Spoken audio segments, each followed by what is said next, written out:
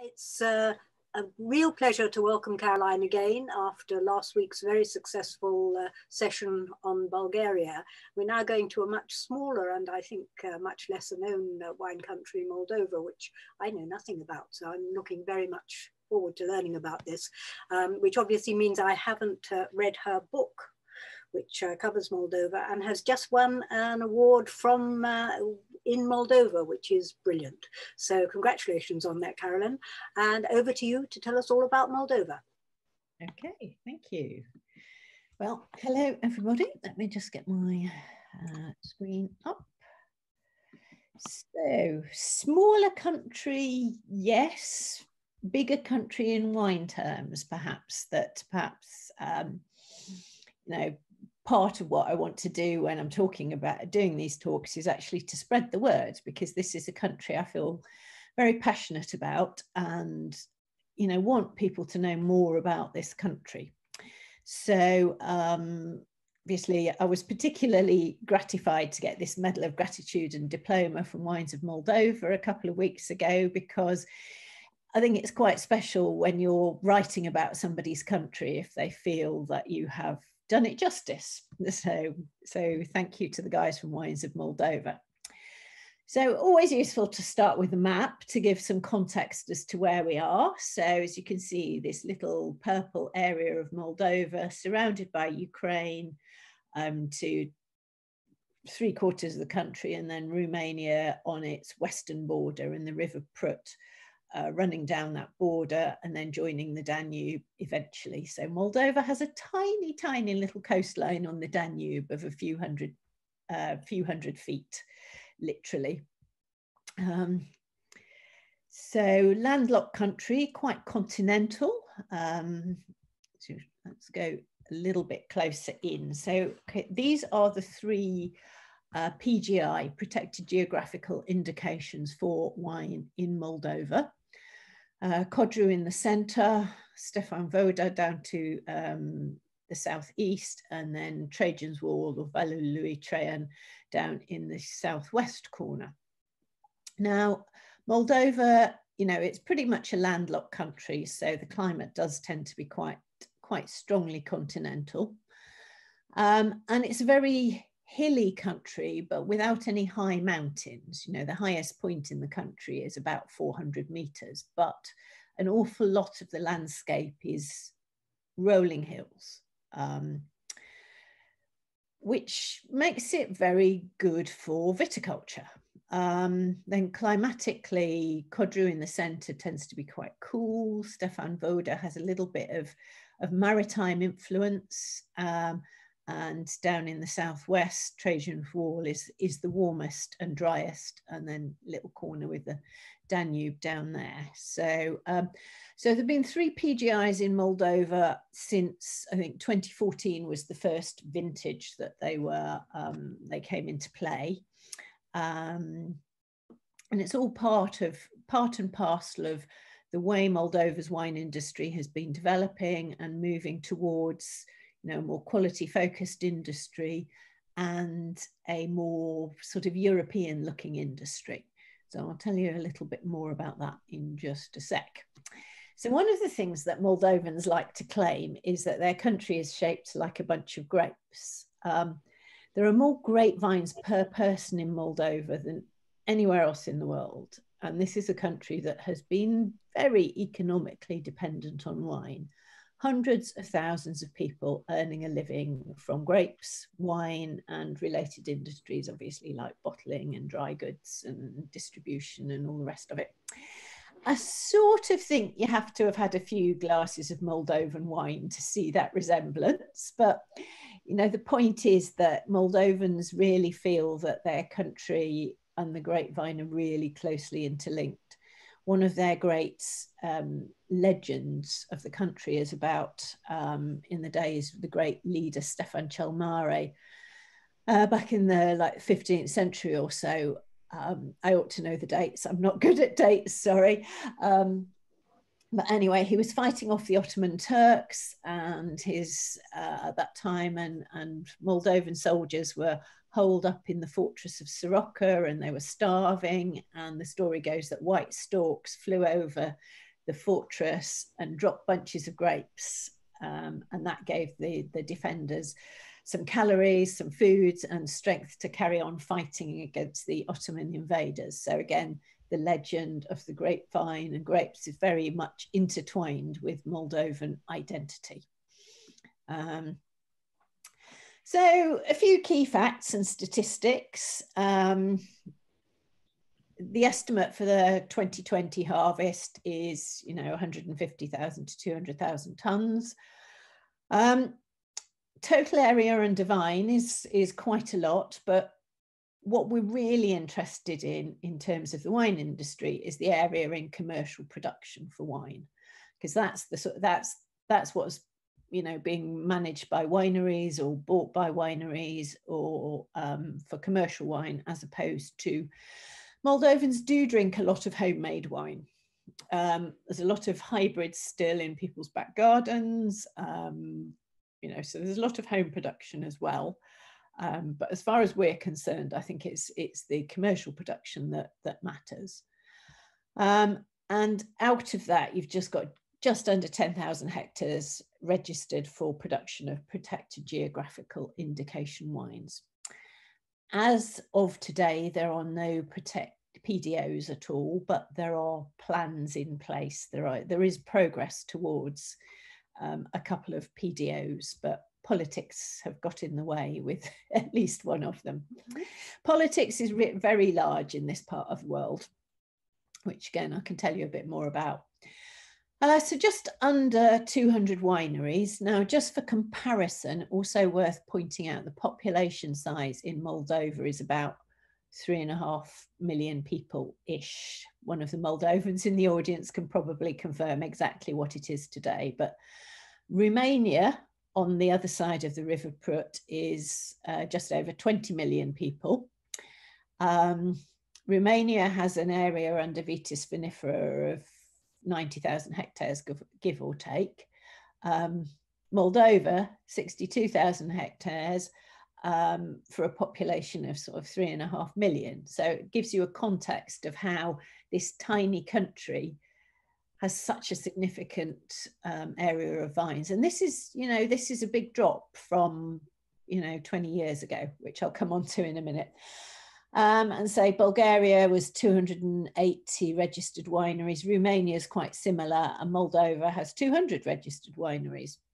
But this number is interesting. The wine sector registered economic entities, you know, 39, just over 39,000 of these. So some of these will be grape growers, some will be bottlers, some will be involved in various aspects of production, but that gives you an idea of quite how many people are involved in this sector. Um, so 2020 has been a really difficult year. Um, obviously, you know, everybody understands how difficult the COVID situation has been, but for Moldova, they also had to deal with um, spring frosts and really severe droughts. So this is about uh, 25 to 40% down on normal. There is also quite a lot of winery uh, wine in stock at the wineries, which is again an area that's yeah potentially quite a significant challenge to the industry. Um, export volumes, this is still a bit of an estimate. Obviously, data for the first 12 months, uh, six months of 2020 is available, but um, you know, export volume is pretty close to or possibly slightly more than the country is actually going to produce this year. Major export partners, Romania, um, actually in bottled wine, it goes Romania, Poland. No, it goes, Rom wrote this down earlier. Hang on, just to get it in order. Romania, Czech Republic, Poland, Russia, China, Ukraine are the top markets for bottled wine from Moldova. And for bulk wine from Moldova, which accounts for about eight, uh, 70% or so of the actual volume of exports, and that goes to Belarus, Georgia. That's an interesting one that a lot of Moldovan wine is going to Georgia, um, Romania, Russia, and then the UK appears there. Because some of you may or may not have noticed that brands like iHeart now quite often the white wines, particularly the Sauvignon or the Pinot Gris, Pinot Grigio, uh, will be Moldovan if you look at the bottle. So there is stuff coming over to be to be bottled in the UK as well. Um, so wine sector share of GDP is 3%, but you know, back in 2005, when I first went to Moldova, it was 9%, if I remember correctly, and it was 25% of all the country's export earnings. It was the biggest export earner after um, expat people. That's, yeah, 9% contribution to GDP in 2005 um, and it was 28% of exports at that time. So it has dropped quite a lot, but it's still significant um, money. Uh, so let's have a look at then some of the important grape varieties that Moldova grows. Um, for various complex reasons over the years, um, things like you know, Russians bringing in French experts at one time, phylloxera, of course, and, and so on. International grape varieties are the majority of plantings. Now, these figures come from the work in progress wine uh, vineyard register, of which about 30 something thousand hectares have been registered out of those 62,000 I mentioned. So these are not complete figures for the country. These are only for wineries that have actually done their bit and registered what they have in the vineyards or the bigger growers that are.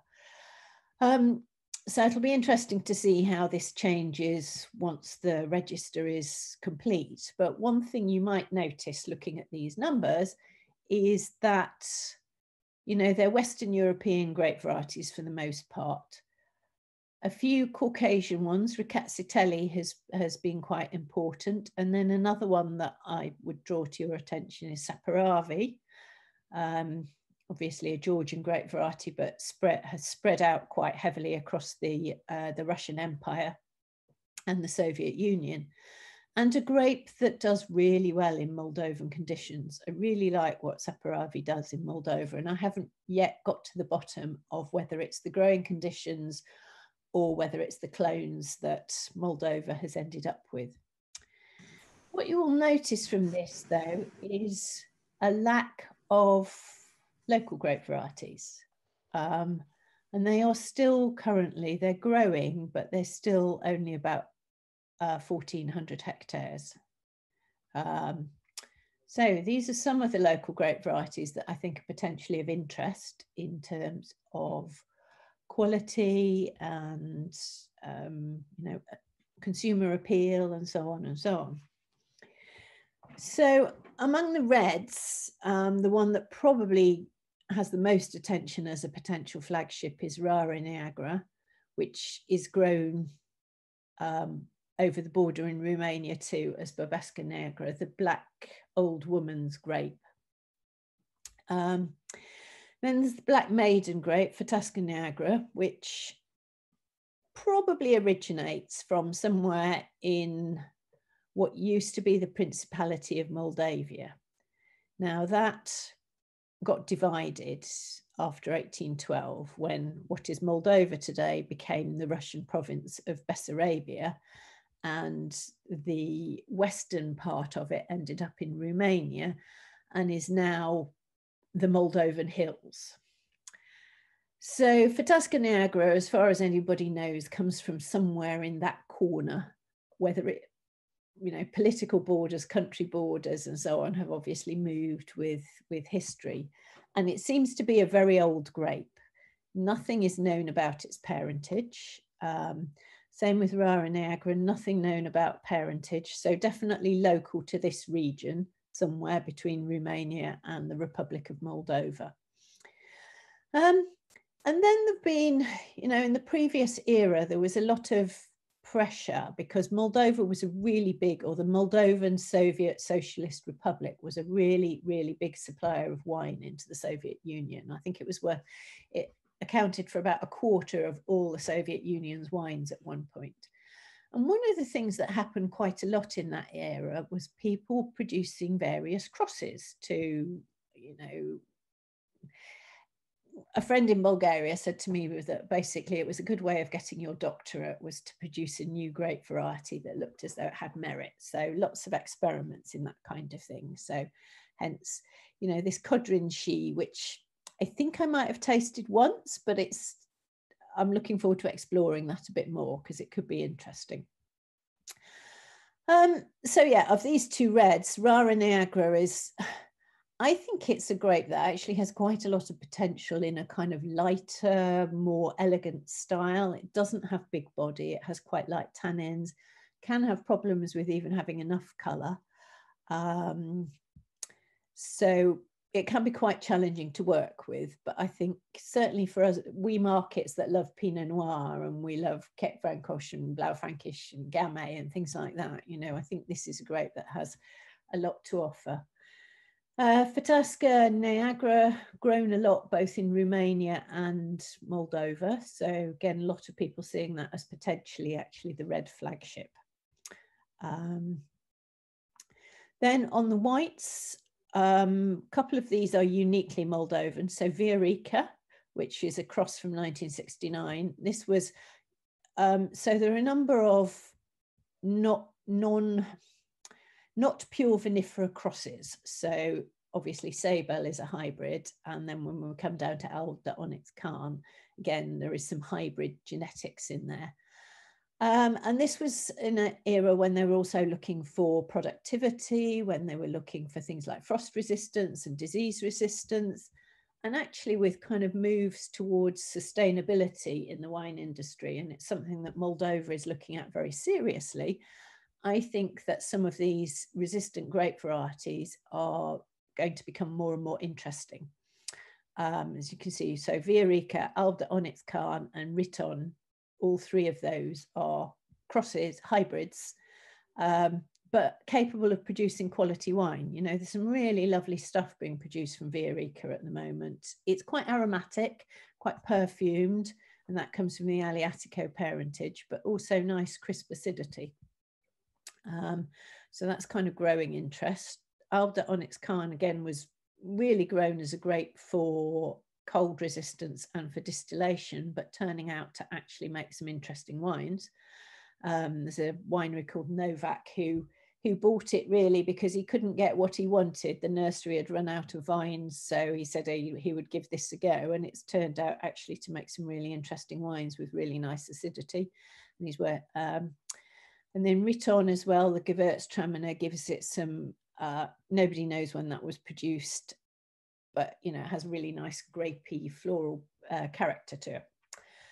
Um, and then the two Fataskas, Fetească Albă and Fetească Regală. Again, Fetească Albă, nothing known about its parentage, probably originated in Moldavia, Moldovan Hills, Republic of, um, sometime in the ancient past.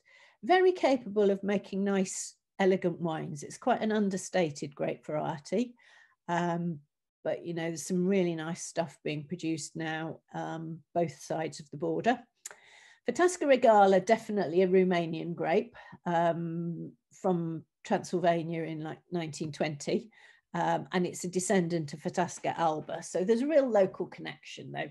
Fetească Regală is a bit more substantial. There are phenolics in the pulp, so you tend to have a, a more structured wine that you can do maybe a little bit more with barrel fermentation and that kind of thing as well. So it's perhaps a little bit more versatile than Fetească Albă, but all, you know, interesting grapes that are specific to the region.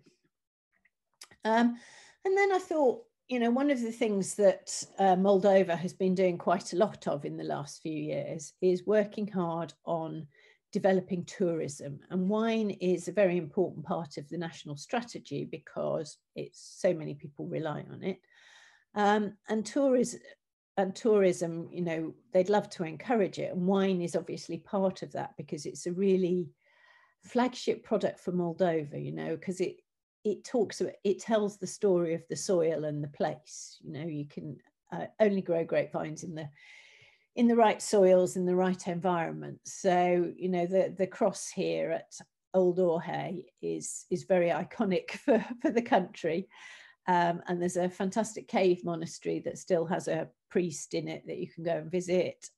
And there's an old um, preserved Moldovan village, so you can go and visit, see these these traditional cottages for Moldova, and you can go and eat traditional food in the restaurant in the town, and you can have lessons on how to make traditional dishes and all sorts of things. So it's, it's a fun place to go and visit if you're in Moldova. Um, and everything's painted this sort of blue or green turquoise color, you know, the color of grass or the sky. Um, so it's very, it can be very sweet. Um, and some of it's, you know, certainly when I first went to Moldova in 2006, I was quite shocked. Um, so these are some of the pictures I took then. So I went to go and work on a project which was fu um, funded by USAID, because one of the things that they'd identified at that point was Moldova was like the poorest country in Europe. And so they wanted to support industries that might help people in Moldova to earn more money and to bring them up to Western standards. And wine, being so economically important in Moldova, was one of the products that was identified. Um, so I went out there on this project with the idea of looking at the wineries and seeing where the opportunities were and which ones might be ready to, to start on a program of improving what they were doing. And I very naively thought that I would see a mini Romania. But I didn't. I saw a country that was, you know, I turned up in the coldest winter for decades and people were fishing through ice holes in the lake in the park in the middle of the capital city. And snow was, um, you know, because uh, that was how you got in something to eat was to go and cut a hole in the ice in the in the middle of the city um, and at this point, Moldova was basically exporting 99% of its wines, and most of that, 85% or so, was going to Russia, and the rest was pretty much going to other CIS countries like Ukraine, Belarus, and so on. So quality didn't really matter at that point. You know, pipes left on the ground, pools of wine, rusty tanks, you know, it was, and I thought I'd seen some fairly grotty wineries in the south of France at that point, having been trawling around cooperatives, putting together, um, French, you know, my French table wine blend. But this was another level of shock, really, for me at that time. Um, and again, another site here, and just above the top of the, the trucks here, that you can maybe see a pipe going from the conifer across to this other tree here. These are glass pipes. And it's quite typical for these huge winery sites because they were big, um, still are big winery sites because volume was what mattered at that time and these glass pipes and you're going well why glass pipes? And one winemaker said to me you know well you can see what's in them. You know light strike was not something that had occurred to people at that point. Because what the soviet market the former soviet market wanted really was about quantity and it was usually semi-sweet and it was mostly bottled in moldova but if it was bottled in a nice blingy bottle and priced right they could more or less sell what they liked and they relied on pasteurization to keep it stable. Um, so, you know, at that point, no truck with cold sterile filtration or hygiene or anything much really. And you could guarantee that the worse the wine was, the more reluctant they would be to give you a spittoon.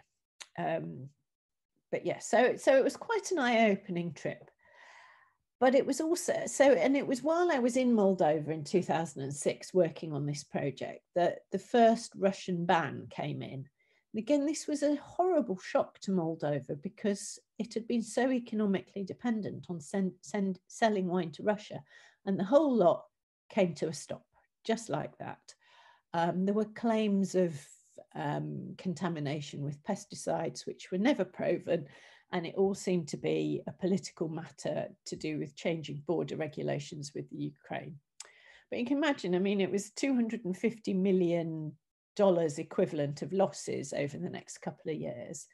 and people starving. You know, they weren't earning much money anyway. Um, people living on handouts from, from family going and working abroad. It was disastrous.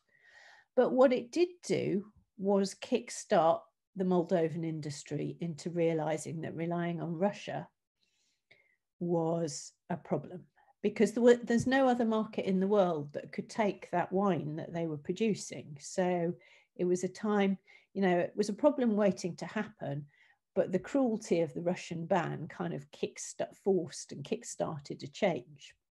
So these are two pictures I took at a winery called Salcutza. The picture on the right with the enamel tanks is from 2006, and the picture on the left is from a recent visit in 2018. So, and I think that just highlights to me the absolutely dramatic change that has happened in Moldova. And it's been driven by the wineries and by people in the industry, supported, yes, by aid, USAID, um, there's been Dutch support, there's been German support, there's been Swedish support, there's been UK support, all gone into helping this poor country bring its wine industry up to modern standards. And you can see it's, you know, it's there, modern standards are in place. Um, and the other thing about Salcutza was it was one of the first wineries that I went to that understood that really it actually had to own its own vineyards. Moldova privatized its vineyards and its wineries differently to Romania and Bulgaria, if you were listening last time. Um, but it ended up with very fragmented vineyard holdings. Um, and it wasn't until I think 1998 it even started to be solved. But fragmented vineyard holdings and lack of professional viticulture meant that fruit quality was not always ideal. So, and I think Salcutza were one of the first to actually start planting their own vineyards on this sort of scale so that they could manage um, the quality of fruit that they were getting. Um, now, I think most of the big wineries understand about managing fruit quality, be it through owning vineyards of their own or be it through managing them under long term contracts. Um, but it's been an interesting, an interesting journey. Anyway, yes, just to tell you another little story. So this winery, Agrovin Bulboaca, actually became, so it was originally founded in 1893 by a chap called Constantine um, uh, Mimi, who was the last governor of Bessarabia and who had studied in Montpellier and come back to Moldova, um, or Bessarabia as it would have been, and set up a, winery and he brought aligote to the region as well because he loved aligote as a grape. But of course it became a Soviet era, era collectivized farm and this particular one became the biggest single supplier of wine in the Soviet Union, I was told, all, with all these horizontal tanks set up in the courtyard and, you know, uh, this is a worker bus and, you know, glass pipes all over the place um, so it must have been quite an amazing sight to see, really, I think. But um, and then this, you can see the the rent some a couple of pictures from the renovation that uh, Christina Frolov sent to me to show me the extent of what they'd have to overcome. You know, these rusting Soviet horizontal tanks, and then you know this wrecked building, um, and then that's what it looks like today you know i mean it's absolutely jaw-droppingly dramatic. And they've developed in there obviously they've modernized the winery and there's a really nice restaurant use cooking local dishes but in a, a much more modern more refined way. So definitely if you ever go to moldova this is a, a must visit place because it's you know it's dramatic what they've what they've done with it. And it shows you a little bit about the really regal, almost regal history. Not regal's not the right word, I suppose, but um, noble history of wine in this country that was just totally broken in the Soviet era and restarted in the new era. I say a huge kick up the backside with the first Russian ban. And there was another Russian ban in 2013 as well. So um, and that was to do with moves towards um, free trade with the European Union. So almost certainly political yet again. Um, So just another, um, also this is another winery that's definitely worth visiting. So this is the, the was the kind of the first of the, the quality wineries set up in 1827 um, at Purcari. And this is uh, far down in the southeast corner in uh, Steph um, Stefan Voda region. And this is what it looks like today. So again, you know, kind of one of the best, one of the most successful wineries, I would say, both in terms of quality and in probably in terms of sort of export of premium bottled wines as well. Because one of the things that they revived was a wine called Negru de Purcari, which was a blend of with Rară Neagră, Saperavi, and Cabernet Sauvignon, and some oak aging. And it was it's perhaps Moldova's most famous wine. So this winery revived it in 2003 when they took over and renovated the winery under new ownership and a really you know, famously, Negru de Purcari was the only wine exported in Soviet times with an English label because it was famously exported to the Queen of England. Um, but anyway, Negru de Purcari today is, yeah, I mean, it it's can be an absolutely fantastic wine. We gave it a gold medal at Decanter for the 2015 vintage, and it, it deserves it. You know, it, um, real flagship for Moldova. And again, this is another wine, winery that's worth a visit because there's a nice restaurant. There are some rooms, you know, some beautiful views over the vineyards because their vineyards are very close to, to the winery. And they're right on the border with Transnistria and Ukraine here. So you can see three countries standing in the vineyards. Um, they've also been quite pioneers, I think, in putting Rară Neagră back on the map as a single variety because they grew it to go into the blend. And then they started making some rosé with it. And then they actually started making some varietal wine too. So then this picture leads me on to another um, thought about wineries in Moldova, and that is very many of them are family owned. There's not that much foreign investment, which has its pros and cons. Obviously, foreign investment brings in money, but because they tend to be family owned, the owners are very close to the industry and they tend to be winemakers uh, themselves. Um, Lilia and Juliana here is uh, is a winemaker. Lilia is the CEO. Um, Mum was the winemaker. Dad used to sell wine. Now he manages getting people to actually come and work in the vineyards. But this is a story quite often that you see in Moldova, both for the for the big wineries and for the small wineries. Um, that there's a real family connection. So this is Gitana's vineyards and this sort of scene of rolling hills uh, with gentle slopes. So it tends to be quite rich soil, but there's a carbonate uh, limestone bedrock underneath it. So, um, and down in the south of the country, you know, it's quite easy. I think they are certified organic for their vineyards. And if not, if they're not certified, they're, they're working on it because it's quite a dry climate very well drained, not much rainfall in the summer.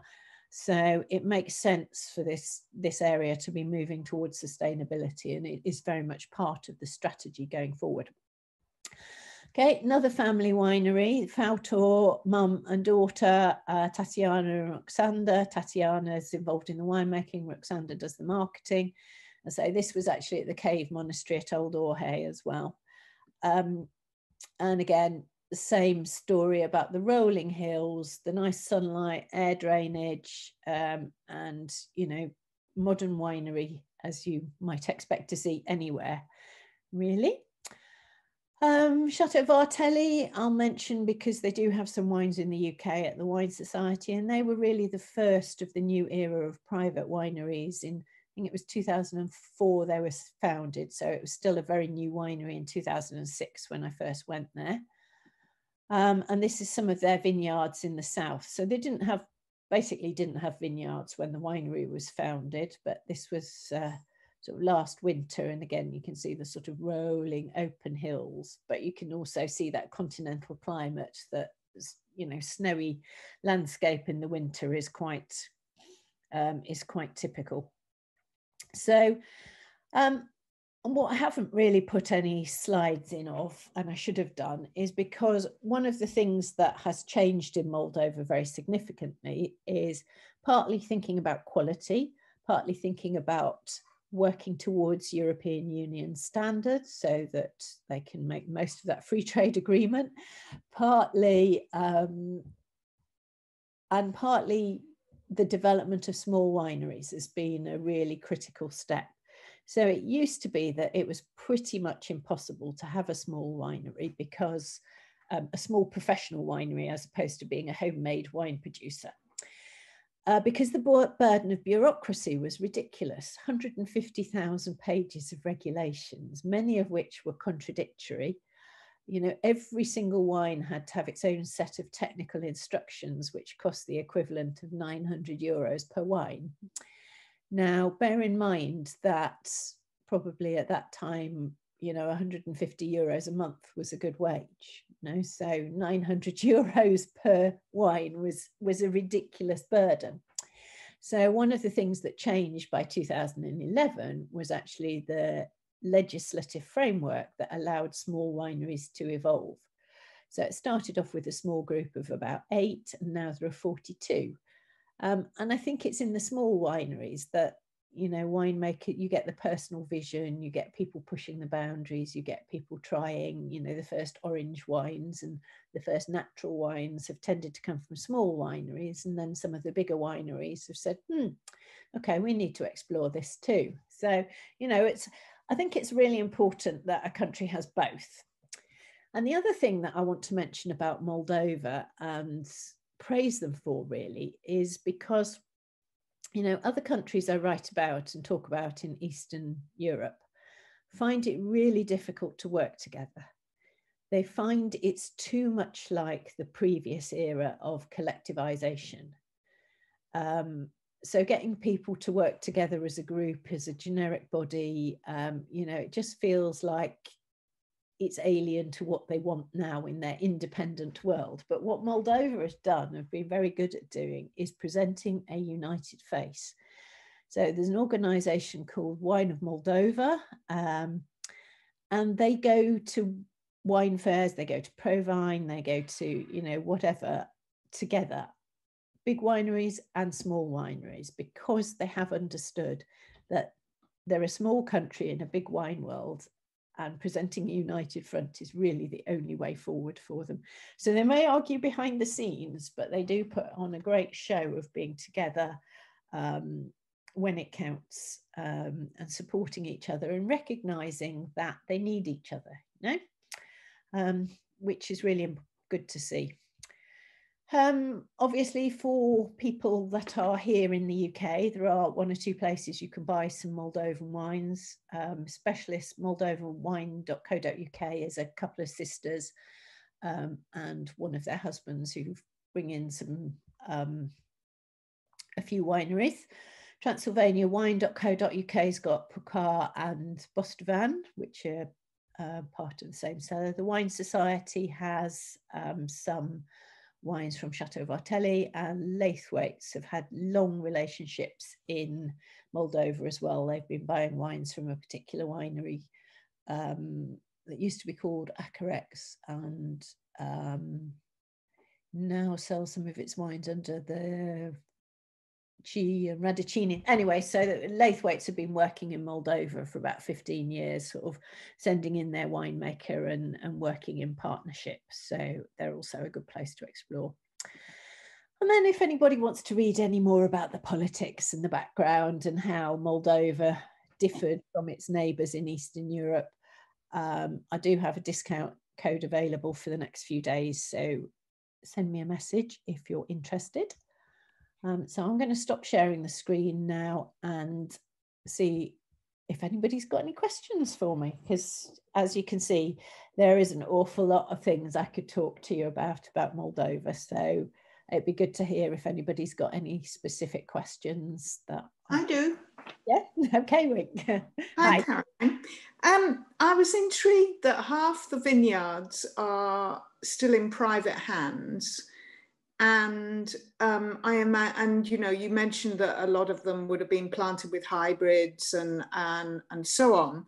but I wondered about how they control that in terms of disease and the risk of something like um, grapevine yellows or um, uh, flavescence dorée in French, um, sort of spreading from un completely uncontrolled uh, and perhaps often not properly maintained private vineyards to the larger commercial vineyards?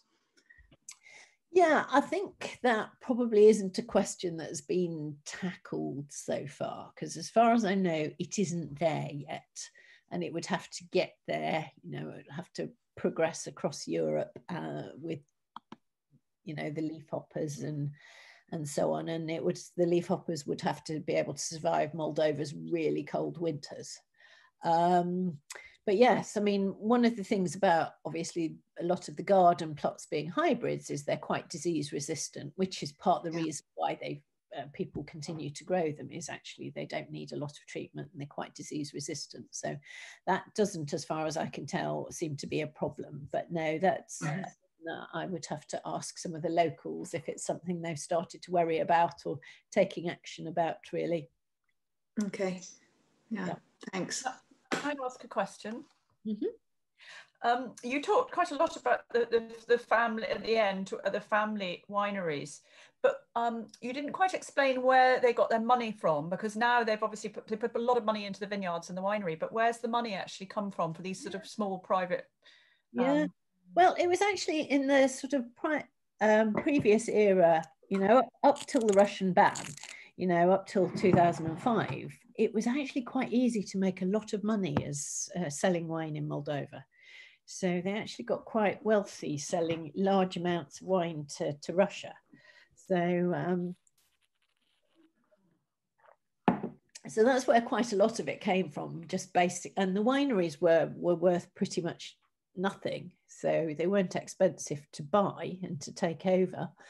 Um, so, but yeah, you could make that was one of the things that attracted people, at families to into the wine industry, um, was that they could make a lot of money. So the money has actually mainly been made in wine, not in other industries. Yeah, no, I mean it varies. You know, you could just about every winery has its own story, but yes, there's quite a lot of money actually was made in wine. Um, there are other other some wineries where money will have been made in other aspects of agriculture. Agriculture is the big industry in Moldova because they don't have oil, they don't have minerals. So really, it's it's agriculture and quarrying are the are the main industries and exporting their people. So yeah, but yeah, you know, each winery has its own story about where the money comes from. I mean, there are a few wineries that are owned by, say, you know, one or two have Russian ownership, for instance. Um, there's at least one. Purcari now is is listed on the Budapest, um, uh, Bucharest, sorry, stock exchange. So obviously there will have been an injection of money from from there, and they have some private equity investment too. So you know each winery has kind of a different story, but there is quite a lot of money was actually made in wine to be invested in wine. Thank you. Can I just ask quickly? Um, the Alb, the the White Cross Alb de, de oh, Carney. Um, mm-hmm. you said there was a winery that had planted this and they were doing really well. Which winery was that? Yeah, it's called Novak. So it's a small, um, I don't think anybody imports it as yet, N O V A K. Um, but yeah, he's that that winemaker's making some really interesting things, cracking Saperavi from 40 year old vines. yes, thank you. And also, I'd like to say that um, I've, I've read um, Caroline's book, and I thought it was absolutely brilliant. So you must buy it. Okay, thank you. yes, you wrote a really nice review. Thank you, Rosemary. Uh, that, that, uh, yeah, very good. Uh, yes, yes, walnuts. Every bit of Moldova, all the roads are lined with walnut trees. Um, so yes, walnuts is a very big product for Moldovans and fresh walnuts. Um, they also grow a lot of uh, plums for prunes. But the fresh vegetables in Moldova are great. Um, you know, I really love every meal starts with a fresh salad, lots of peppers and tomatoes and herbs and cucumbers, lots of aubergines, and you know, so hmm. yeah, something else, Moldovan Lojum, lots of produce back. And actually, one of the reasons I think that Romania has uh, now imports so much Moldovan wine is Romanians see Moldova as kind of brothers in arms, you know, um, and several people in Romania said, "Oh yeah, yeah, Moldova is, you know, the the food is great there, the vegetables are so good," and I think that reputation also extends into the wine. Um, so there's a lot of Moldovan wine now, especially bottled stuff, goes to Romania because you know um, shared values and so on and so on. Hmm. Caroline, you touched briefly on organic stroke sustainability, but I think that was just for one small cor corner of the country. Can you say a little bit about um, viticultural practices um, and general approach to things green in Moldova? Yes, I mean, I think there was a time, obviously, in the Soviet era when, um, you know, modern pesticides and fungicides and tractors and so on were all part of the way the industry worked. But um, then, you know, after privatization and restitution and stuff, frankly, people were too poor to start to buy agrochemicals. Um, but um, it is part of the industry strategy going forward to, to develop sustainability. It's very much a key focus. Um, because you know some wineries have already shown that it's it's possible. Um, and though one of them Kostia Stratan from Equinox was saying that the headache he's been one of Moldova's few organic producers for a long time and he said the headache is getting the certification because again it's it's complicated. But I think that the industry is getting behind the need to be sustainable. Um, and it's just you know training the industry to be aware of a new way of thinking. And some producers i think maybe need more persuading than others. I think some are already on board. And but there's a kind of education job to encourage people to understand that actually it's it has to be the way forward for moldova. It has to be the way forward for the wine industry really. But it's and it's a good tool i suppose. It it works both ways you know. It's people have to be educated as to how to manage things sustainably. So there's a lot of work going in from um, Wine of Moldova and so on to provide, you know, wine winemaking consultancy and as part of that, you know, viticultural consultancy to, help build that sustainability message. Yeah. Mm. Great, thank you. Great varieties for orange wine production, I have been asked. I mean, there are relatively few orange wines at the moment. I think Equinox makes his out of a blend, um, and I can't remember off the top of my head what. I believe that Purcari have just introduced a, or have produced this year their first orange wine from Viorica. So I have to persuade somebody to send me a sample at some point so I can actually taste it. Um, I mean, I would imagine that Rkatsiteli would be an obvious one for people to work with, but say I can only think of two or three orange wines at the moment. Part of the trouble for Moldova, I think, about sort of going the, the natural wine kind of route is that actually it's rather too close to homemade wine. um, but yes. Um, so, question about premiumization domestically and export markets. Yes. I mean, the export numbers for the first six months of this year, in spite of COVID, actually bottled wine increased by 5.4% in volume and also slightly in value. Um, and the fact that it's increasing in value in spite of the difficult conditions is a good sign. Uh, unfortunately for Moldova, you know, I say 70% of its wine is still being sold as bulk wine and at one of the lowest prices in Europe of just under a euro a litre. Um, but there's quite a lot of work been going into, especially for the small wineries, the new small wineries, uh, pre, uh, building premium products, so building better quality and asking higher prices. One of the problems for Moldova that it has that is different to Romania and Bulgaria is that because it's so poor, the minimum wage now is not the equivalent of 96 euros a month. So, and the average wage, and that includes, you know, high paid jobs in the city, is 330 euros a month. So you can imagine the market for bottled wine domestically is quite small. Uh, it may only be 100,000 people.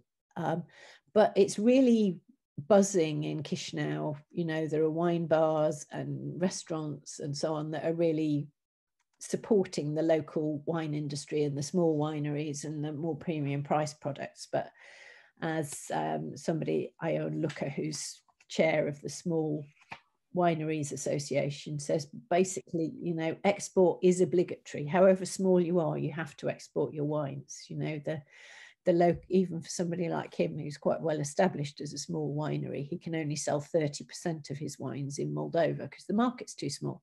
And he has his own wine bar to, and shop to sell them as well.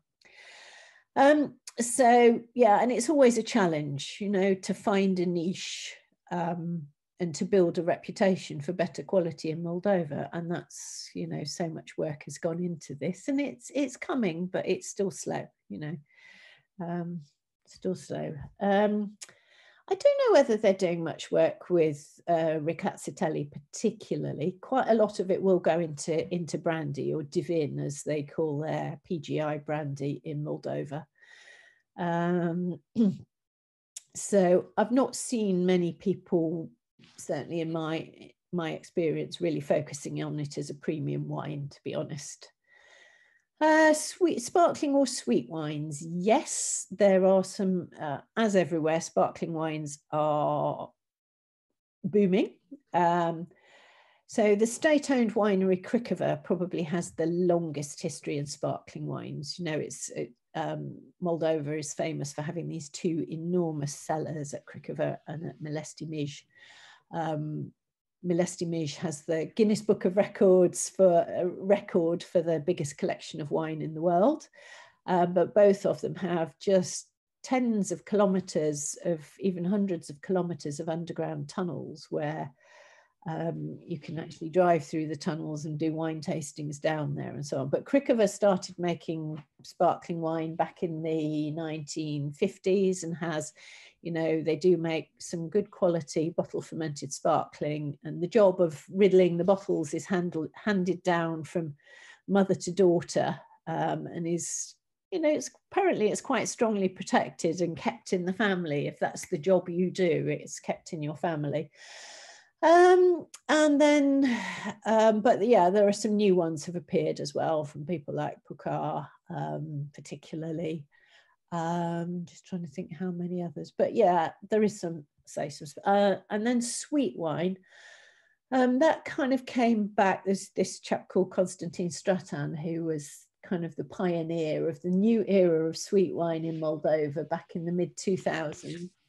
Um, and he started to make ice wine and um, botrytis wine as well, particularly with Riesling. There's actually quite a lot of Rhine, and this is Rhine Riesling, not Italian Riesling. Um, so there's several producers making some really cracking good ice wines. Can't guarantee you're going to get botrytis every year, but in Moldova you can pretty much guarantee it's going to freeze. So more ice wine than botrytis. So Riesling, bit of Muscat as well, some nice Muscat Ottonel ice wine too. So um, right, yeah, that's a complicated corruption and Kotnar. So yes, not related. Yeah, Car Caroline, can I ask? Um, the two things are unrelated, but first of all, uh, you mentioned you know politics and the situation mm. is complicated. Uh, you haven't mentioned um, the F word, fraud and corruption. Is is this a problem in Moldova? And is it hampering the wine industry? Does it hold it back? And, and then my question about Cotnari, I know Cotnari is mostly in Romania, but I think historically it was in Moldova, and maybe part of it still is. I don't know. Um, but and I know that there's the private winery in Romania that's got Cotnari in its name. Um, but is there no way that Moldova could sort of try and reclaim it and use it as a hero brand?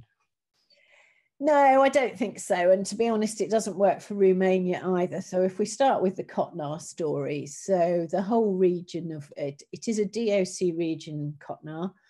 Um, so the former state winery, um, has Cotnar in its name, SC Cotnar. And then there's another winery, Cotnari Winehouse, which has been set up by the children of the owners of the former state winery.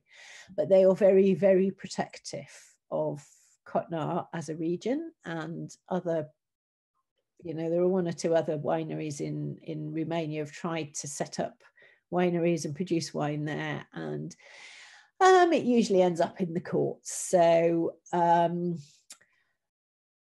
and it's just i mean i wrote about it in my book actually compared Cotnar to Tokai and the way two famous regions for sweet wines have gone in completely different directions. And Tokai does work as a marketing hook for Hungary. Cotnar really doesn't work as a marketing hook for Romania for various reasons. Um, but it is, you know, it's in the region of the Moldovan hills, which would, you know, way back 16th century and earlier will have been the Principality of Moldavia, but no, there is none of Cotnar in Mo the Republic of Moldova. So completely different countries. And I don't think there's anything, you know, and I don't actually think, unless you're very clever about it, as to some extent they have been in Tokai, in today's wine industry, I don't think sweet wines work as, as the hook um, to, to when you want to build a wine industry about quality dry wines. Um, so, yes, there is a long history of making sweet wine. They still make something that is actually called pastoral now, but used to be called kagor or cahor, um, which is sort of 16% fortified sweet red wine. Um, but they had to give up um, kagor cahor as part of the agreement with for free trade with the EU. Um, so, and this dates back to the the days of you know connections with French winemakers and so on. So there is a history of it. There is some good sweet wine in, in terms of fortified reds in Moldova. But so the corruption thing, um, I'm going to tread quite carefully here, but there was, I think it hampers the whole of Moldova. So I told the story again in my book of, um, gosh, it must be three or four years ago now, where corruption managed to lose Moldova about 10% of its GDP an awful lot of money managed to disappear in a series of dodgy bank loans. And you know even made radio 4 it was such a scandal but i don't think as far as i know that money has ever been recovered or anybody has been brought to book about it. So you know it's something that affects the whole of moldova. I wouldn't like to necessarily single out the, anybody in the wine industry for it, but you know, it, it is a real problem um, for you know for a poor country like this to lose you know the equivalent of 10% of its GDP was just unbelievable. But yeah. Anyway. Hmm. okay. Something funny happened to my screen there. Can you still see me? Hear me? Still see yes. I don't know. Jochen we can see your screen. Yes. His emails. Oh dear. I don't see I don't see you, Caroline. Okay, no. Um I don't know how to make myself the main view. Yeah, we're viewing. hang on, view options. Maybe there's a so none of you see Caroline, is that right? No, no, we're still looking, we're viewing it. We're looking at your the screen for some reason. Yeah. Okay. Hang on, I'll do this. There we go. That should ah, go. there you are. You, Daryl. Hi, Daryl. Uh, hi, Caroline. no, I think that's that was all the questions that were there.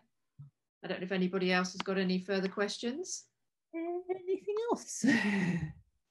Oh, she's. There's so many. Oh, you can stop it. right. Technology. Right.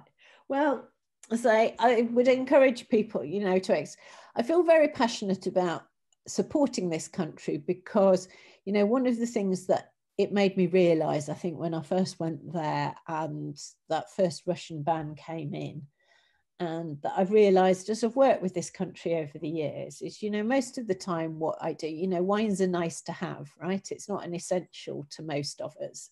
It's, um, but in Moldova, it is, you know, it, people's lives and livelihoods um, depend on wine.